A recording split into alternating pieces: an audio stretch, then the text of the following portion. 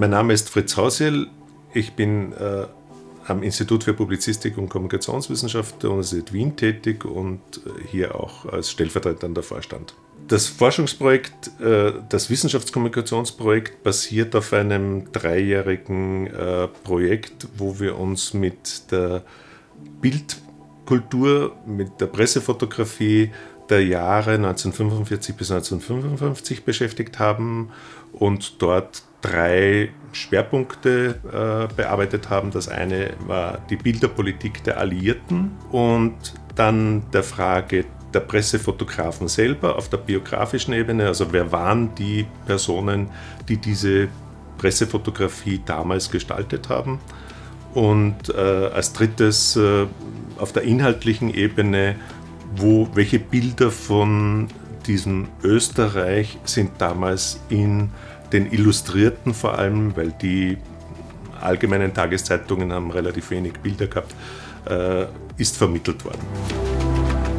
Die Ergebnisse unseres Forschungsprojektes sind dann im Rahmen eines äh, Wissenschaftskommunikationsprojektes des FWF übergeführt worden in eine Online-Ausstellung und auch eine analoge Ausstellung, die wir hier am Institut äh, zeigen gerade.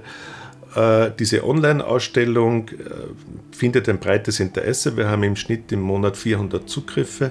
Und wenn dann in den Medien äh, ein Thema davon aufgegriffen wird, wie das die Trümmerfrauen waren, dann schnellt das auf das Doppelte hinauf. Man sieht also, dass dafür ein breites Interesse vorhanden ist.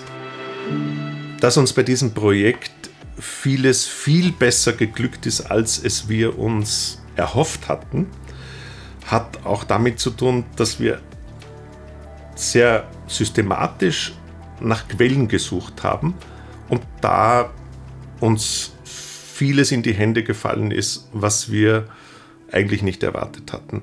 Äh, wesentlich zum Beispiel äh, die Mitgliederakten des Syndikats der Pressefotografen, die dann in einem Keller noch äh, aufgestöbert wurden und uns dann auch voll inhaltlich zur Verfügung gestellt worden sind. Ein Nutzen dieses Projektes für Menschen von heute ist, dass man besser erkennen kann, wie Propaganda gemacht worden ist und in dem Fall vor allem über Bilder auch gemacht worden ist. Und wir sehen, dass in dem Bereich sich vor allem die Amerikaner durchgesetzt haben. Sie haben sehr erfolgreich junge österreichische Pressefotografen ausgebildet ähm, und haben gleich zugleich diese Bilder den Redaktionen kostenlos angeboten und damit waren sie letztlich konkurrenzlos gegenüber den anderen Alliierten. Und so hat sich auch letztlich äh, der American Way of Life und das politische System äh, sehr stark durchsetzen lassen.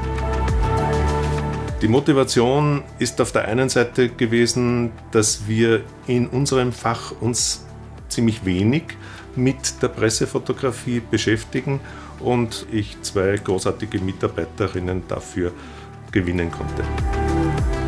Der Wissenschaftsfonds spielt in dem Zusammenhang eine ganz zentrale Rolle, weil wir könnten äh, ein derartiges Projekt mit den Eigenmitteln nie stemmen. Äh, das braucht äh, entsprechend große Finanzierung äh, und, und einen langen Atem, der finanziert werden muss. Und da ist äh, Wissenschaftsfonds ein großartiger Partner und wir sind äh, für diese äh, Genehmigung dieses Projektes sehr dankbar und äh, wir sind auch, ähm, glaube ich, sehr bestätigt worden, wenn man sich die Evaluierung anschaut, ist da ähm, ein sehr großartiges Feedback äh, zurückgekommen aus der Fachwelt, äh, das uns auch ermutigt, in diesem Bereich weiterzuarbeiten.